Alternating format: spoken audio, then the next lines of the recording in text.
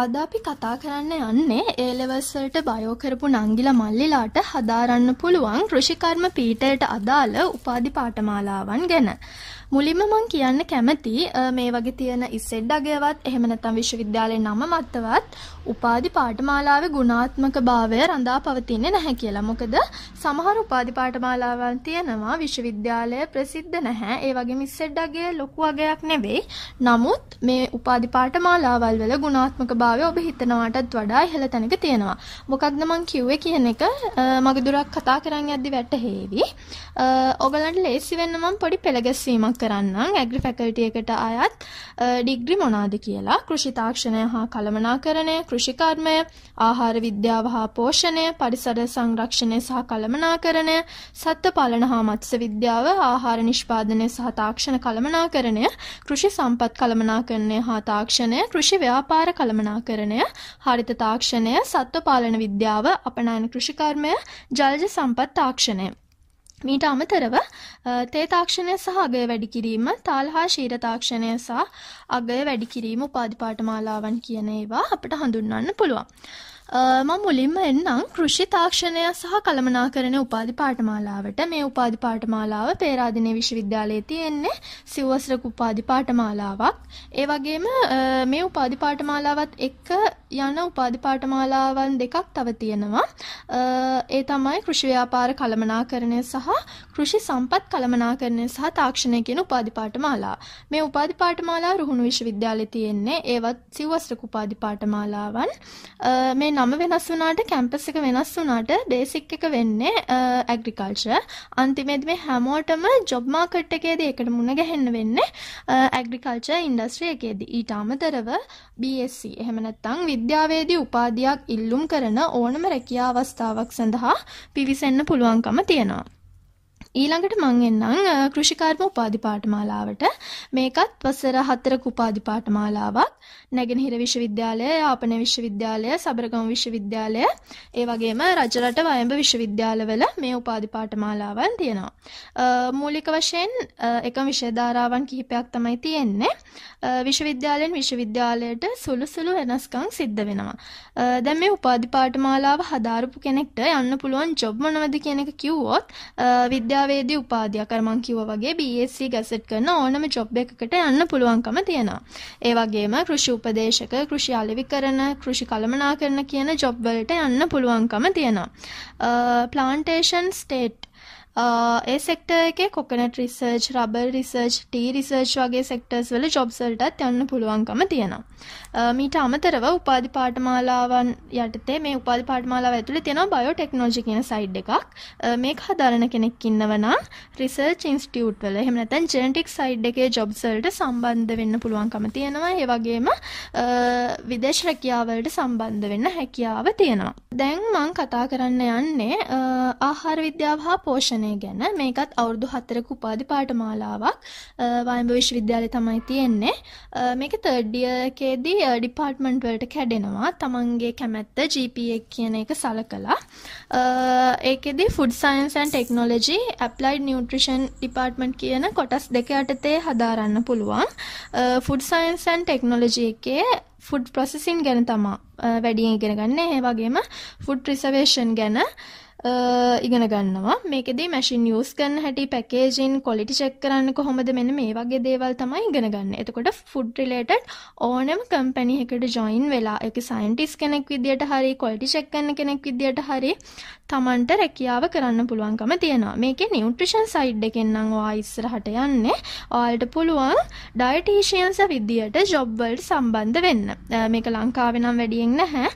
නමුත් ලංකාවේ උද්දුරේදීම දියුණු වෙයි. ඒ වගේම විදේශ රැකියාවලදී උපකාරයක් වෙන්න පුළුවන්. මේ වගේ දේවල් වලට සම්බන්ධ වෙන්න පුළුවන්කම තියෙනවා. මේ දෙගොල්ලන්ටම අර හැම වෙලේම මං කියන කතාවමයි විද්‍යාවේදී උපාධිය ඉල්ලුම් කරන ඕනම රජයේ හෝ පෞද්ගලිකාංශයේ රැකියාවක් සඳහා පිවිසෙන්න පුළුවන්කම තියෙනවා. ඊට පස්සේ මං එන්නම් පරිසර සංරක්ෂණය සහ කළමනාකරන උපාධි පාඨමාලාවට. මේක අවුරුදු 3ක උපාධි පාඨමාලාවක්. ස්පෙෂල් කරනව නම් හතරවෙනි අවුරුද්දත් කරන්න පුළුවන්. මධ්‍යම පරිසර අධිකාරිය මේ වගේ පරිසර සංරක්ෂණ ඒ වගේ ආයතන වලට අනුබද්ධ රැකියාවලට මෙයාලට යන්න පුළුවන්කම තියෙනවා. ඒ වගේම අර BSc ගැසට් කරන ඕනම ජොබ් එකකට යන්න පුළුවන්කම තියෙනවා. ඊළඟට මම එන්නම් සත්වපාලන හා මත්ස්‍ය විද්‍යාව මේ දෙකම එකට තියෙන්නේ පේරාදෙණිය විශ්වවිද්‍යාලයේ ඒකේම තියෙන ඒ තියෙන කොටස් දෙකම වෙන වෙනම තියෙනවා උවෙල්ලස් විශ්වවිද්‍යාලයේ සත්වපාලන විද්‍යාව උපාධි පාඨමාලාව විදියට සහ ජල්ජ සම්පත් තාක්ෂණය උපාධි පාඨමාලාව විදියට. මම එතකොට ඒක ගැන ඔයාලට විස්තර කරොත් ඔයාලට හිතා ගන්න පුළුවන් පේරාදෙණිය විශ්වවිද්‍යාලයේදී ඒ දෙකම කම්බයින් වෙලා තියෙන නිසා ඒ මං කියන දෙකටම අදාළ ජොබ්ස් වලට යන්න පුළුවන්කම තියෙනවා කියලා. මං එතනින් ගන්නම් පළවෙනියටම සත්වපාලන විද්‍යාව උපාධි පාඨමාලාව. මේකත් අවුරුදු 4ක උපාධි පාඨමාලාවක්. මේක විශේෂ උපාධි පාඨමාලාවක්. මේ උපාධි පාඨමාලාව හදාරන කෙනෙක්ට BSc ඉල්ලන ඕනම පෞද්ගලික අංශයේ හෝ රජයේ රැකියාවකට එකතු වෙන්න පුළුවන්කම තියෙනවා. මේ සත්වපාලන විද්‍යා උපාධි පාඨමාලාව ගත්තොත් අනිත් අයට වඩා විශේෂ වෙන්නේ ෆාම් මැනේජ්මන්ට් සයිඩ් එකේ ජොබ් වලට යන්න පුළුවන්කම තියෙනවා. ෆාම් මැනේජ්මන්ට් කිව්වම cattle farm, swine farm, poultry farm මෙන්න මේ වගේ ලයිව් ස්ටොක් ෆාම් වල එක්සිකියුටිව් ලෙවල් එකේ ජොබ් වලට සම්බන්ධ වෙන්න පුළුවන්කම තියෙනවා.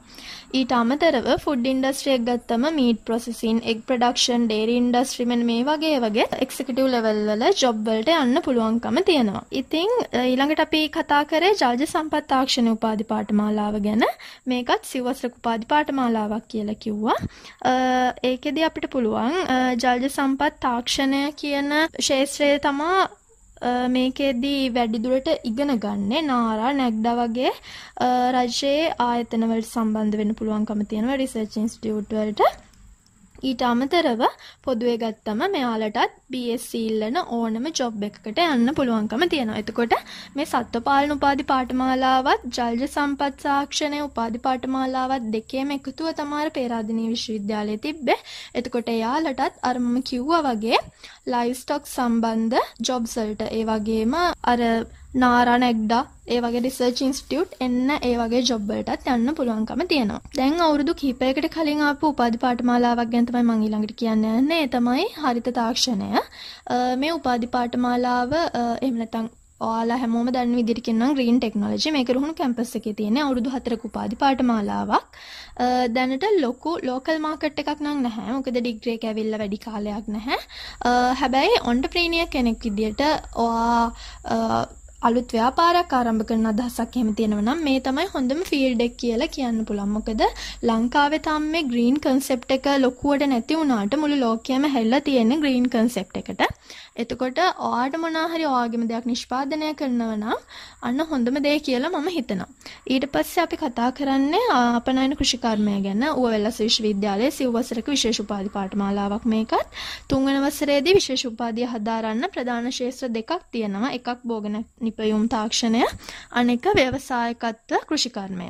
මේ කෘෂිකර්ම මේකේ අන්තිමේදී කෘෂිකර්ම දෙපාර්තමේන්තුව CIC ප්‍රීමා මැලිබන් මේ වගේ ජොබ් වලට යන්න පුළුවන්කම තියෙනවා. ඒ වගේ වගේම එළවලු පළතුරු විසිතුරු මල් කියන වගේ ශේත්‍ර තුනක් යටතේ දේශීය සහ විදේශීය වෙළඳපොළ වෙනුවෙන් ව්‍යවසායකයන් විදියට ව්‍යාපාර ආරම්භ කරන්න පුළුවන්කම තියෙනවා. එතකොට අර හැමතිස්සම කියන කතාවමයි ආපහු බයෝසයන්ස් ඉල්ලන BSc ඩිග්‍රී එක ඉල්ලන ඕනම රැකියාවක් සඳහා ඉල්ලුම් කරන්න හැකියාව තියෙනවා. ඊළඟට මං කියන්න යන්නේ තේ තාක්ෂණය සහ අගය වැඩි කිරීමේ උපාධි පාඨමාලාව සහ තාල හා ශීර තාක්ෂණය සහ අගය වැඩි කිරීම උපාධි පාඨමාලා ගැන මේවත් ඌවවෙලස්ස විශ්වවිද්‍යාලයේ සිව්වසරක විශේෂ උපාධි පාඨමාලා මේවා අනෙක් ඩිග්‍රි වලින් ගත්තම වෙනස් වෙලා තියෙනවා. එහෙම වෙලා තියෙන්නේ අනෙත් උපාධි මේ ඇග්‍රිකල්චර් ඩිග්‍රි වල සම්පූර්ණයෙන් තියෙන හරයේ යම්කිසි කොටසක් කැඩිලා ගිහින් තමයි මේ උපාධි පාඨමාලාවන් හැදලා තියෙන්නේ. එතකොට මේකේ ඉන්නේ ඒ ඩිග්‍රියට අදාළව ඒ සම්බන්ධව එක්ස්පර්ට්ලා කියලා කියන්න පුළුවන්. දැන් මුළු ඇග්‍රිකල්චර් කියන කොටස ගත්තම ඒක ඇතුලේ ගොඩක් දේවල් තියෙනවා. ඒ වගේම කැඩිලා ගියපු කොටස් තමයි මේ තියෙන්නේ. එතකොට ඔයාලා කවුරු හරි ඒ දේ ඉගෙන ගන්නව නම් අර සම්පූර්ණ දැනුම එතන තියෙනවා කියලා අපිට කියන්න පුළුවන්. එතකොට තේ තාක්ෂණය සහ අගය වැඩි කිරීම උපාධි පාඨමාලාව ගත්තොත් T export company වල executive level එකේ job වලට යන්න පුළුවන් T sector එකේ ඕනම job එකකට යන්න පුළුවන් production management මේ විදිය ඕනම job එකකට යන්න පුළුවන්කම තියෙනවා. ඊට පස්සේ තාල හා ශීර තාක්ෂණය උපාධි පාඨමාලාව ගත්තොත් පොල් පර්යේෂණ ආයතන රබර් පර්යේෂණ ආයතන මෙන්න මේ වගේ රබර් එක්ස්පෝර්ට් කම්පැනි වල මෙන්න මේ වගේ නැෂනල් ඉන්ටර්නැෂනල් මාකට් එකේ ඕනම තැනක ජොබ් එකකට ඇප්ලයි කරන්න පුළුවන්කම තියෙනවා. මේ උපාධි පාඨමාලා ඔක්කොම ගත්තොත් මේ ඔක්කොමටම ස්පෙසිෆික් ජොබ් තියෙනවා. ඒවා අනිවාර්යෙන්ම යන්න පුළුවන්කම තියෙනවා. BSc ඉල්ලන ඕනම ජොබ් එකකට යන්න පුළුවන්කම තියෙනවා. ඉතින් මං හිතනවා කෘෂිකර්මය කියන්නේ රටේ ලෝකයේ ගත්තාම දවසින් දවස ඉස්සරහට යන ඒ වගේම ගොඩක් ගැටලුකාරී තත්ත්ව තියෙන ශාස්ත්‍රයක්.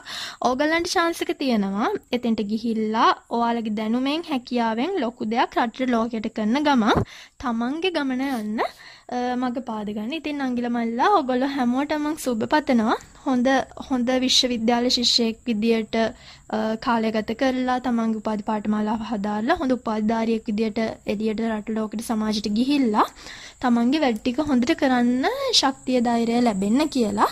ඉතින් thank you අපිත් එක්ක එකතු වුණාට යාළුවන්ටත් කියන්න ෂෙයා කරන්න මේක එයාලටත් පණිවිඩය දෙන්න මේව ගැන නොදන්න අයට කියලා දෙන්න. ඒ වගේම සබස්ක්‍රයිබ් කරන්න අමතක වුණා නම් මේ channel එක සබස්ක්‍රයිබ් කරන්න කියලාත් මං ඉල්ලනවා ඔයගොල්ලන්ගෙන්.